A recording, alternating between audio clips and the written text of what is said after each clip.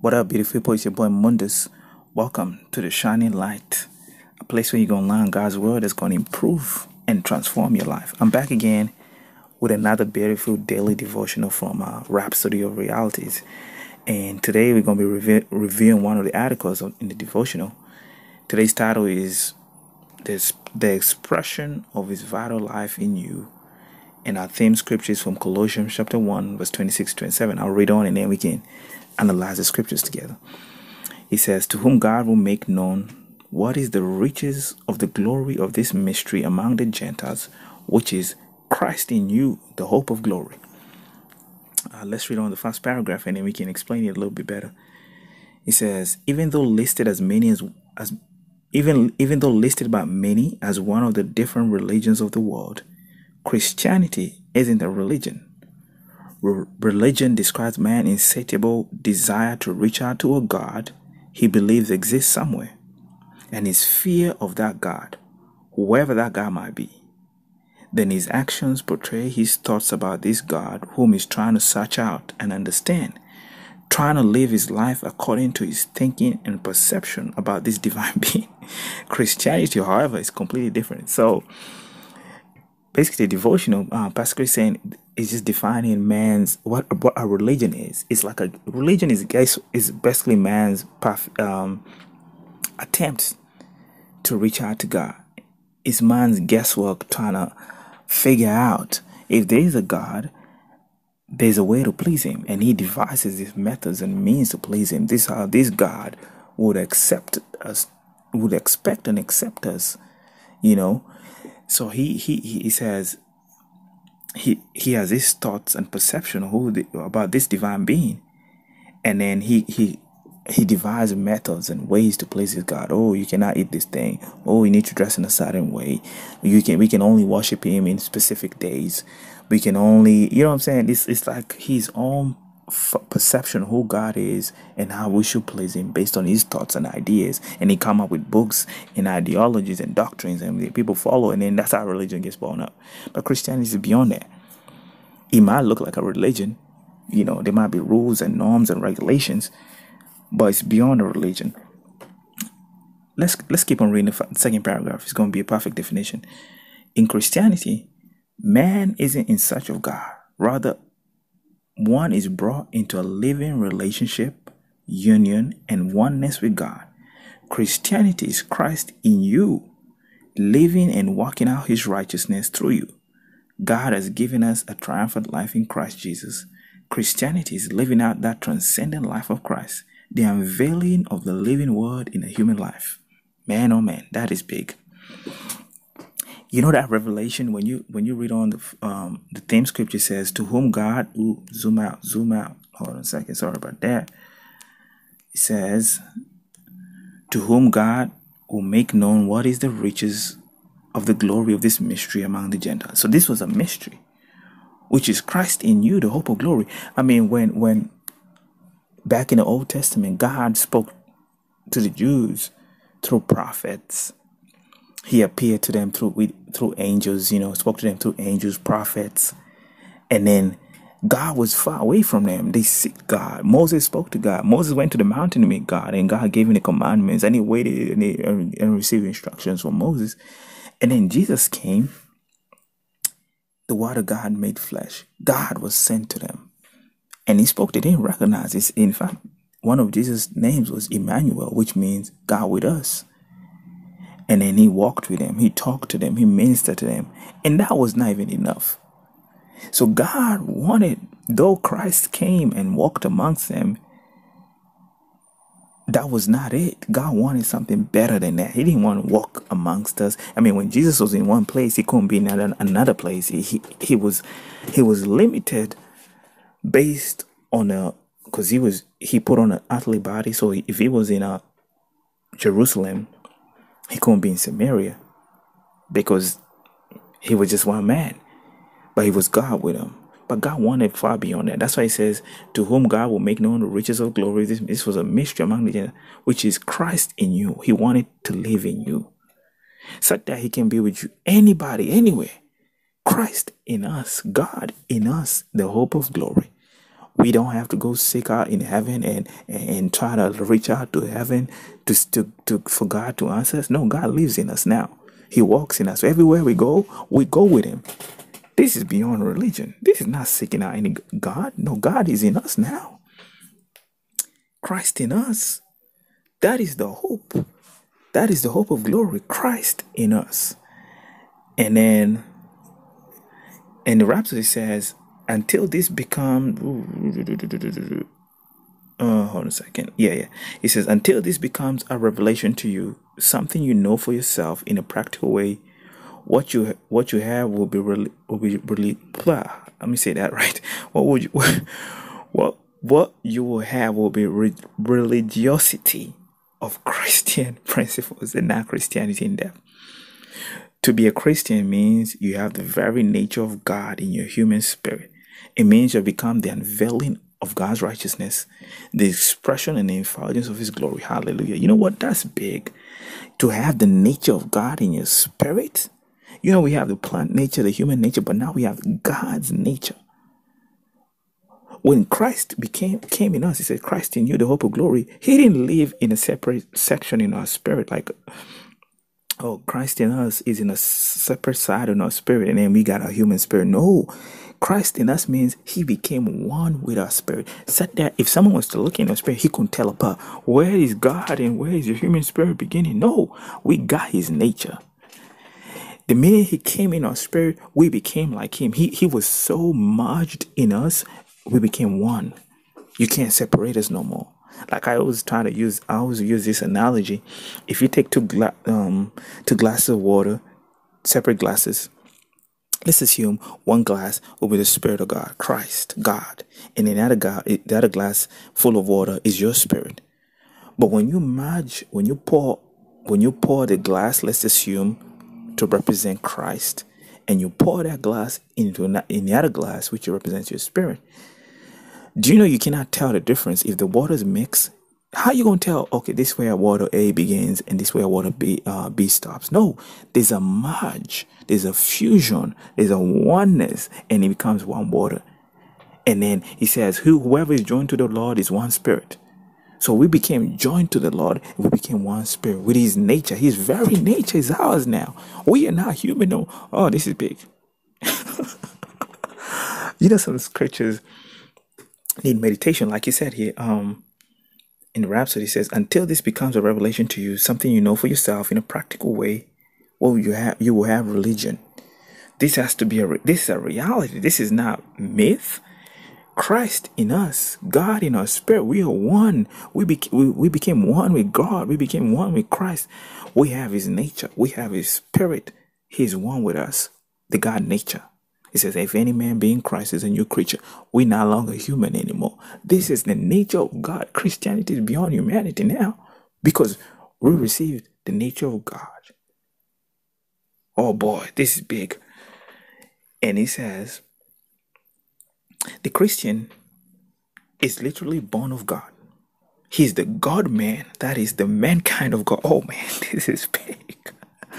Did you see that? Oh my God, this is huge. This is huge. Yo, this is beyond religion. Let's read that again. It says, The Christian is literally born of God. He's the God man. That is the mankind of God. He has and lives the God life in the earth. In actual sense, he's a God. Oh boy, pause. Before you click off before you click off the video and say, Oh man, I can't listen to this blasphemy. Eh, this is facts this is truth. Actually, I should not say facts because facts can be changed. This is reality. And That's why it's called Rhapsody of Realities. We are studying God's realities. These are realities. Until we know who we are, we could be struggling. You know, the Word of God tells us who we are, unveils to us who God has made us. And the fact of the matter is, made us gods. We are the God kind. We are the God kind. We because we received His nature, and then we were translated from mankind to God kind. Because it says, uh, from the domain of darkness to the kingdom of his dear son. Because we received the nature of God. We were born of God. When you human beings give back to human beings. If a, if a dog gave back to a, to to a cat, that would be a mystery. You'd be like, what that? What what happened? What is wrong with this? So if God gives birth, why are we surprised he gives birth to gods? The God man, the mankind of God. Because we're in this earth and we got the human body, so we are the man version of God. Just like Jesus was God in human flesh, we are God in human. Oh boy, this is big. Before, y'all, let's just keep on reading. Relax. Don't leave yet. Just calm down a second. Let's read on. Um, he says he has and lives the God life in the earth. In actual sense, he is a God. In Psalm chapter 82, verse 6 says, I have said, Ye are gods, and all of you are the children of the Most High. So, children of the Most High are gods. He's trying to tell us anything that's born of God is a God. God gives birth to gods. He does not give birth to humans, He gives birth to gods because He has brought us to His level, to His class the class of gods. You know, you have the humankind, the plant life, the animal life. No, when you're a Christian now, you're a new creature. You're no longer in the mankind. You become, you're translated to the God kind. You're the God man in this earth. Just like Jesus was the word God made flesh, we are that word that's now flesh too. We are just like Jesus. I'm going to show you that. Oh, how you say we like just Jesus? That is blasphemy. I'm going to show you that real, real quick. So chill out, chill out a second. Let me show you that real quick. Uh, as he is, as he is. you know, when you don't, you don't know the exact scripture, you just search. Thank God for the U Bible. You can just search for um. Uh, I think it's in First John. Aziz, hold on, hold on, Aziz. So, uh, we search for that. Yes, that's it. First John chapter 4 verse 17. And I highlighted it too, so I have it highlighted. He said, Here First John chapter 4 verse 17. It says, Herein is our love made perfect, that we may have boldness in the day of judgment, because as he is, so are we in this world. Context, when you read about he's talking about God and he's talking about Jesus. He says, Whoever shall confess that Jesus is the Son of God, God dwelleth in him, and he in God. Oh my God. This is what we were talking about, right? Man, man. Ah, ah, ah, ah, ah. Okay, okay. All right, right. Let's read that again. Um, from verse 15, he says, Whosoever shall confess that Jesus is the Son of God, that's how you get born again by confessing that Jesus is inside of God. God dwelleth in him. If you confess that you're born again, God dwells in you and he in God. That's what we're talking about. You become one with God. You can't separate us no more. And we have known and believed that the love of God has towards God is love. And he that dwelleth in love dwelleth in God, and God in him. He is our love made perfect, that we may have boldness in the day of judgment. Because as he is, so are we in this world meaning as God is. We are just like Him. We has made us gods because we are born of Him. Um, let's just wrap this up. Let's just see what he was saying. He said, We are children of the Most High because we were born not of blood, not of the will of the flesh, nor of the will of man, but of God. This is the reason sickness, disease, and infirmity of the body cannot and shouldn't be in your master. Have this mentality. Can God be sick? Can God be down? Can God be afflicted with colds and disease? If not, if God lives in you, if God cannot be sick, why should I be sick? Because number one, He's been joined to me. That means everything that affects me should affect Him because we are one now. And God cannot be sick. We have His nature, we have His life. Man, man, man, man, man. He says, You are a partaker of the divine nature that nature cannot be corrupted, defiled by sickness, disease, or anything out of darkness, because the very nature of God is exactly what I'm talking about. That very nature of God, God cannot be defiled by darkness, sickness, depravity, failure. We have His nature that has made us above sickness, disease, failure. It's a consciousness now. That's who He has made us. As He is, so are we. So if God, if you're like God, God does not get sick. God cannot walk in failure. Why should we be sick and walk in failure? Because we have His nature now. Before we could, when we had the human nature, that human nature of mankind could be subject to sickness, disease, and failure. That's why he translated us from the domain of darkness into the kingdom of his dear son. When we were born again, we became one with him and we received his nature that is superior to failure. He said, This is Christianity. It is the working of divinity, the Christ life in you, the practice of the heavenly in the earth. it is a practice, it's a consciousness, it's a meditation. Don't look at yourself as a weakling. Look at yourself as divine life is in me, the nature of God, God in me, Christ in me, the hope of glory. He said, This is the mystery that's been hidden. They didn't understand it back in the day when God talked to them from the mountains and He sent all these prophets to talk to them. And then Jesus came, and then they didn't even know. That's why Jesus told His disciples, Wait, relax, wait here. I'm going to the Father, and I'll send you a comforter that He might be, He will not only be with you, He will be in you. That was the mystery. God living in a human body. He can be with all of us. We became one with God now.